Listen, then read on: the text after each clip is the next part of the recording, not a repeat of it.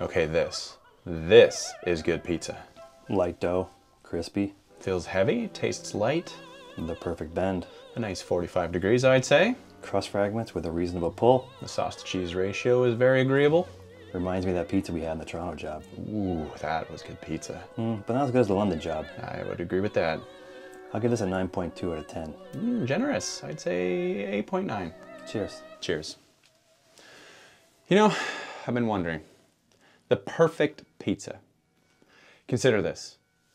I snap my fingers and whoosh, before you, in all its cheesy, steamy glory, is the most perfect pizza you've ever laid eyes on. Designed by Da Vinci, carved by Michelangelo, made I get it. You're saying it's good pizza. the best. Simply the best. And in your heart of hearts, you know that this is the single greatest pizza to ever have been made. But there's one catch. You can only ever eat it once. Never again? Correct. So I only eat the perfect pizza once. Correct. But then no other pizza will ever compare. And that's my wonder. On the one hand, I eat the pizza, and I live my life knowing I've tasted the very best. I've reached the top. Why wouldn't I? Yes, but life goes on.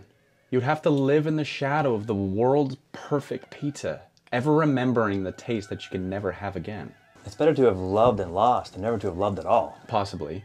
But isn't the journey far more important than the destination? Hmm. Well, I think that. Fellas, time to shine.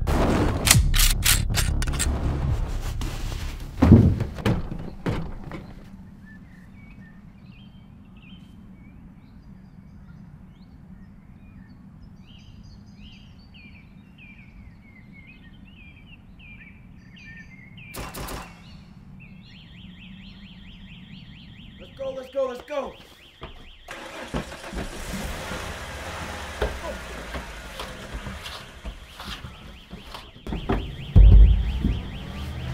Happened to you? I was taken. Not you, him. Things got messy, but never mind me. Who's this? I'm Antonio. Stop that. He's a hostage. I can see he's a hostage. Why'd you bring him? Things got messy. I very much agree. Well, consider him a problem. He's a loose end. We're gonna have to get rid of him. Please don't. Enough. We'll take care of him later. So, back to our original discussion. Would you eat perfect pizza? The, the perfect pizza? I eat that every day. What? What do you mean? I I I am a pizza maker. A pizza maker. Yes, the world's best. You gotta be kidding me. It's true. It is in my blood. Pizza sauce flows through these veins.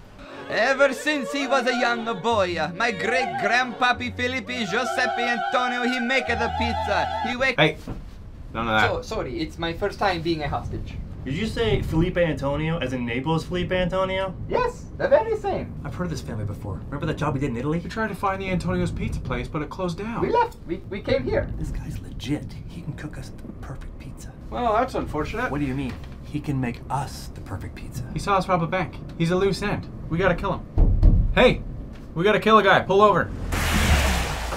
All right, pizza maker, it's time to die. Oh no no no no! no, no, no, pizza, no, think of the perfect pizza. no, It's so no, no, delicious. no, No. no, Wait, wait, wait, wait, wait. If you kill him, you kill the perfect pizza. What about all those pizzas we've eaten, all the places we've been? We could finally eat the perfect pizza. Trust me, I'm doing you a favor. It's not about favors, it's about flavors. Flavors that'll ruin your life. This isn't about loose ends, it's about the perfect pizza, isn't it? Of course, this is about the perfect pizza. I don't want to eat it, no one else ever should. I don't want to live in a world where every pizza after this one tastes like Hawaiian. Pineapple belongs on pizza. It's disgusting! I want to eat it. I don't want to eat it. Our life would be complete. Our life would be over. It's better to have loved than lost than never been loved before. Ignorance is bliss. We would have touched the stars. flew too close to the sun.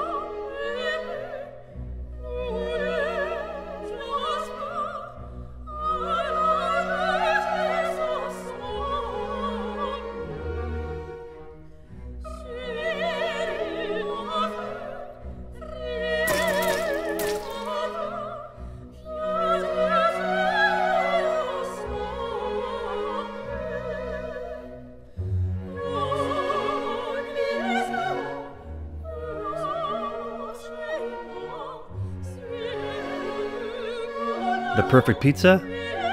Well, that's to die for.